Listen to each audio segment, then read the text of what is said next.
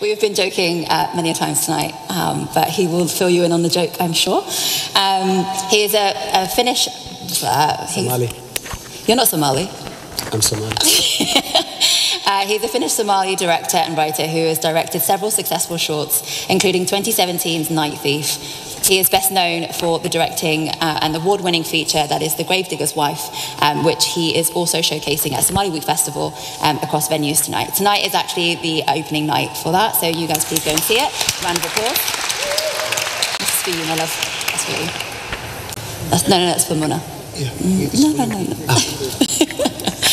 Nothing, one second. Um, amazing. Next we have Muna Rumi, who is an A&R manager at Columbia Records. She broke into the music scene at the age of 16 with a self-produced radio program and soon after went on to found music management company in Birmingham. Well done. In round of applause. In her current role, she specialises in spotting, recruiting and nurturing talent across the UK. Welcome. Next, we have Ardesi Skodade, who is a writer, translator, and blogger. In 2017, he published uh, the book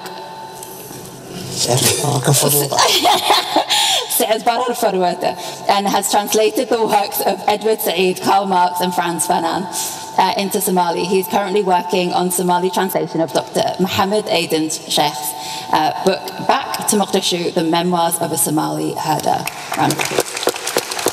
That is Thank you so much of all for joining me. Um, welcome, firstly. Um, what I would love to open with is a question for you all, which is what are you currently listening to, watching, or reading that's inspiring your artwork or your work? Who would like to go first? Um, so, what's inspiring me at the moment, uh, music wise? Um, I really like Beyonce's new album. I think that's cool. Um, yeah. I know that's a bit random, guys. But no, it's not random at all. What, what, what do you like about the the album? What is it? Just feels good. Yeah. Yeah. Feels good in your soul. Yeah. Great. That's why. Um, so yeah, what else am I really inspired by at the moment? I think just life, really. Yeah. Um, the people around me, my job. Um, yeah, find inspiration in everything. So amazing. Yeah, that's me. Amazing. um, yeah, yeah, yeah, yeah. yeah. Boleh Makla. Yeah. yeah. So um, yeah. I am watching old African films by uh, uh, Ousmane Sembène and also Djibril uh, Diop Mambéty, and uh, just to get an idea of what African um, history, cinema history was like. So I'm watching a lot of African films. Amazing. Yeah. So I'm, an, I'm a translator and a writer, so words inspire me. Yeah. Words from all over the place. Words from all over the Bible. Uh, from all of the ages. Mm-hmm. From all of all of the dictionaries and so in in a word, word. Work is inspiring you. Yeah. Amazing. And today on this panel, we're going to kind of interchange between English and Somali. Um, so sometimes we'll translate, sometimes we'll leave it as it is. um, the next the part of the panel we're going to now discuss is the intersection of tradition and modern Somali art forms, and how each of these artists actually kind of mold that, mold their culture and their current life into their art form. Um, let's start with Muna. Okay. yeah. How do you how do you kind of in, uh, find that transition between your culture and your art form? How do you how do you see that showing up? I think. Well, it's something that we have to deal with every day. It's a bit obvious. I'm a Somali woman. I'm a hijabi in a white corporate company, mm-hmm. um, and especially because there's not many black people in these kind of companies and women especially and stuff like that. So it can be a bit challenging at times. But I think um, it's a good thing, you know. At the same time, like uh, there's still advantages to it because I feel like if I wasn't a Somali hijabi Muslim woman, yeah. maybe I wouldn't have got as further as, as I have in yeah. my industry. Do you know what I mean? It's kind of been an advantage. Yeah, round of applause for that. So, yeah. yeah. There's no one like me. Like, yes. Not to show off, not to show off. Hey, show off. That's what we're here for. Shine light on you. Yeah. Definitely. Amazing. Gentlemen? So, can I go first? Yeah. Yeah. I think the theme of the year is very interesting because for me as a translator, because translation, I, I see translation as a bridge between the traditional and modern form of art. Uh, to start with, the Somali society is in transition. We all know that the way people express themselves was in the old days mainly based on, the, on using the uh, traditional forms of art, chiefly the orality of maanso, poetic art. But today we are celebrating the 50th anniversary of October 21st, 1972, the day the Somali language got its official script. Uh, 50 years after, uh, or half a century, we have witnessed a great shift towards writing. Even the poets like the late Hadrawi uh, used writing to at least conserve their uh, verses, if not to compose them. So what this means for the greater societal reality, I think I argue that translators, as writers, can contribute to as a connection to negotiate between the traditional and modern forms of art by revitalizing the former and enriching the latter. We as translators are agents of both the source language and the target language. So we can, we can be dubbed as the only good double agents. So, and, Yeah. and we are, we are, we are, a monumental bridge that connects the past, the present, and hopefully the future. So, as I said before, we deal, deal with words, these tiny, fine creatures we call words. Because translators try their best to make sure the exact contextual meaning of that word. You ask yourself some seemingly basic yet fundamentally deep questions about the word in question. For example, what is it? Why is it used? How is it used?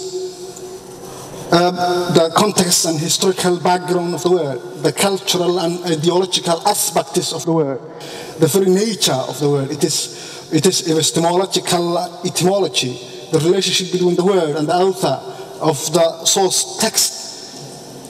By going this, through this rather sophisticated process, you can successfully manage to get the corresponding words in the target language. So here, here where, where the enriching aspect of the modern art form comes in. Yeah. When, when, when you are trying to get the corresponding words between the, the, the target language and the source language, you are really doing a, as you, you, are, you are acting as a bridge. So, and the idea of translation is becoming more and more familiar with the Somali reader's collective psyche since the publication of the first, uh, uh, as far as I know, the first Somali edition of Jidka Lomari Falsafada Runta uh, in 1977, translated by Muhammad Mahmoud Abdul Dunkal, uh, which was a summarily translation of two books on philosophy in Russian. Our Somali translation shelf in our libraries, has becoming more and more increased both in quantity and quality. And during the last decade, and you know that in 2011, this Somali Week Festival had it is as uh, had translation as it is a theme. Uh, the more, the, uh, we are driving towards translation as a modern art in an unprecedented, fast and fury-like speed. Why translate? One can ask. Why not? One can reply. Thank you so much. Wow. I have so many questions for you, but Heather, I will be here for you. Definitely. I mean, you, you, you can't beat that information. Um, I was recently in, in, in Africa where I spent um, two months. And uh, I was spending a lot of time at those spots where, you know, older Somali uh, men gather around, you know, to drink tea and, you know, share information and talk. And uh, it was an incredible experience because I got to gain a lot of information, a lot of history, you know, uh, you know about these um, individuals. And uh, so I'm always, you know, listening. I'm always observing. Um, I'm always talking, you know, to people. So I, I get, you know, a lot through that. You know, that that's my main, uh, you know, uh, uh, source of, of of connecting these uh, two together. Amazing. Yeah. We all spoke about, um, each of you have spoken about essentially like taking what it you started, whether it's Mona and take, looking herself and what makes her unique, whether it's Abdelaziz who you know takes a language, or whether it's Khadar who takes what he sees and puts it into cinema. So we, there is a source, there is a location, and I actually really enjoyed what you said, which is you know the source and then the target, and you know that moving target and that language as target. Um, for me, it's like movement, isn't it? Like we're constantly moving, we're constantly evolving, and a question comes to mind for you always if we're constantly moving, constantly evolving, how do you see your artwork evolving over time?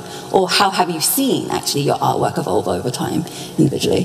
From maybe when you started your short films, what, to now your feature, have you seen a transition of the what you take as inspiration versus what you take as inspiration now? Uh, of course, you know, because as a human being, I'm always growing. You know, each day, you know, I'm, you know, I wake up as a different person you know, I, I'm always, like I say, you know, I'm changing, I'm evolving, I'm always experiencing things that I haven't experienced yesterday. And, and uh, you know, it's with those, you know, elements that I grow, you know, uh, that helps me, you know, first to change as a human being, and then through that, you know, um, um, evolve and, and, and, and my art. And uh, yeah, and, and that also helps you see things from a different perspective, mm-hmm. you know. Um, and uh, so, yeah. I, Amazing. What about you, um, Muna? Have you seen, obviously, you yourself, you're a hijabi woman, you started. Did you see that there's a shift in where you take inspiration from uh, when you started versus where you take inspiration from within the culture now? Yeah, definitely. I think more as well as I've gone older, I think yeah. um, that plays a part more. Like you, you get inspired by your culture, a lot of things. Do you know what I mean? So definitely, for sure, I, I do feel like that that is the case. Amazing. And for you, Abdelaziz? Of course, because we as humans are constantly in transition, mm-hmm. and, and and when you are dealing with a world that's in transition, mm-hmm. words that are in transition, mm-hmm. you definitely uh, uh, is, is a reflect is reflection. You, you will become a reflection of the work you do. Mm. So we, you grow, and I grow as my work grows. That, that, that, that's what actually happens. And for example, when, when, when I have started, uh, officially started translating stuff and, and, and, and writing in Somali, it was back, back, back, back in 2015, 16. And, and now, when, when I compare the two, I can see that I have that I've grown very evolutionarily. Yeah. If I, if I can use the word. Yeah, of course. Yeah. Amazing. Uh, that, thank you so much. And what strikes me is there seems to be a core inspiration from all of you. Can you name a part of the culture or uh, part of uh, your life that has like made a huge impact that it's you know that's the cornerstone of like that's where I take all my inspiration. For me, example, I take a huge inspiration from Somali fashion. I enjoy um, seeing um, how we we dress, how we present ourselves in every day, and that's where I take my inspiration from daily. For you guys, what how do you what is the cornerstone of the inspiration, or is there is there a breadth of things? I, anyone, feel free. I think for me, it's Somali women because I feel like we're just very strong. You know, yes. we're leaders like, yeah, I feel like we all just take inspirations from our mothers, you know? Yeah. And our mothers yeah. are like strong ladies and stuff. So I feel like that's for me, like, that Somali woman in me like strikes through, you know? Like mm. Somali woman in me strikes through. So that's that's me personally. Amazing. I think well, the greatest inspiration in my life is actually I'm, I'm with Mona Although we don't share the same mother, we share the same uh, identity. Mm. So my mother is the greatest inspiration uh, in my life. Not only uh, that, that, that, that, that, that she is my mother and she's, uh, she has uh, if, if right to be respected. No. She is uniquely inspired me. She has uniquely inspired me to think freely, to think freely, to think of myself as myself. And that, and that is what driving me to this day and, and hopefully to the, to the future. Amazing. Yeah. So I will say thank you, Mom.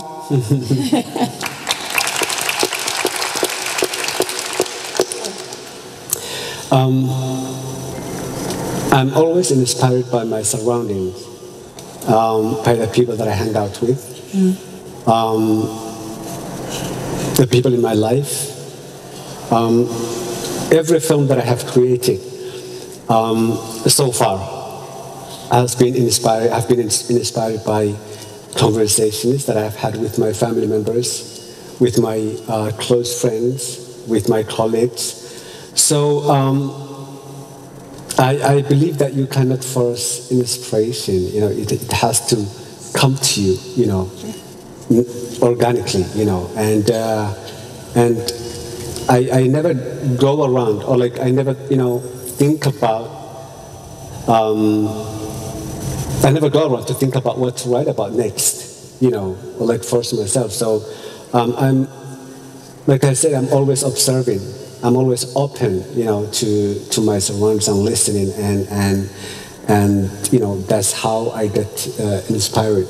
Amazing. Yeah. Thank you so much. Hoya Ma'an will plays a huge part in Somali Week Festival. We and I 100% back that. Um, our parents have done an incredible amount for us um, to be where we are today, and I just want to give a round of applause to both the mum and the dads in the room. Um, you know, I think for me, it's uh, something that's become very uh, prevalent in this conversation is that and even backstage, we all have very different cultures in terms of we have Somali culture, but we also have cultures that we have grown up in. For me, it's the UK, um, which is why my Somali is not great. We'll talk about that later. Um, and for you guys, I can see there's multiple different languages that also play in part, and also countries that you might have visited. How does um, where you've lived or where you've visited and potentially additional languages um, have like supported or actually potentially hindered your art form? Can I go first? Of course. Go for it. The I think- like, I'm ready. I think every single word, every single language that I, I can I can speak of, I can read about it with it, and I can listen, mm. has contributed a lot into my translation efforts, to my tra- translation process. For example, if I get a book that is about to be translated, which is in English, for example, I, I, I also can read in Arabic. So I used to search for and Google for and, and also and search for the Arabic translation of that book, if any. So the, the greatest news translator is that it is available. When, when, it says the Arabic translation of the book you are looking for is available. So because when you are reading in, in one language, you are living in one life. But when you are reading more than one language, you are living multiple lives in multiple universes. So, and that, and that, and that has its impact on my work as translator and writer and stuff. Amazing. What was the question again? How, so the question was, how does either by being bilingual, living in multiple countries, growing up in different countries, also contribute to uh, your art form, or essentially not contribute, potentially? Um, Yeah, I feel like your environment, the, the languages, all of that, it subconsciously influences you in a way. Do you know what I mean? I'm from Birmingham, so it's the smallest city to London. Do you know what I mean? Like it's completely different to London. So yeah, that inspires me as mm. well. So yeah, I feel like it plays a part, definitely. And I only speak two languages, only Somali and English. that's that's more than most. So I definitely speak Somali better than you. yes, that rounds a round of applause for that. Well done. Um, I think what I'd love to know is obviously you said Birmingham is a smaller city. Like, what what do you take from Birmingham specifically? What is it that you you think this is what Birmingham is, or this is what London is, and, and the distinguish between the two? Um, I would say like Birmingham's a bit more like it's just boring. It's quiet. It's chilled. We're in the middle of. Is anyone from Birmingham here? So I just feel like it's different to London. I feel like London, there's like so much culture. It's the main city, right? It's the capital Yeah. city, so it's a bit different. But I think Birmingham's just a bit more chilled, relaxed. You know what I mean? Yeah. Um, there's Somali community there as well, who are very conservative. Yeah. So yeah, I think Birmingham's just Birmingham. Amazing. Yeah. Birmingham's just Birmingham. Khaled? Um, Mona has already said what I wanted to say, but I will add this that um, your environment, you know, plays a big part in shaping who you are. And uh, I, I spent more than half of my life in Finland, and um, it hasn't been easy growing up in there. But you know, I I somehow found a way to to get the best out of the Somali culture and also get the best out of the Finnish culture and then combine something that um,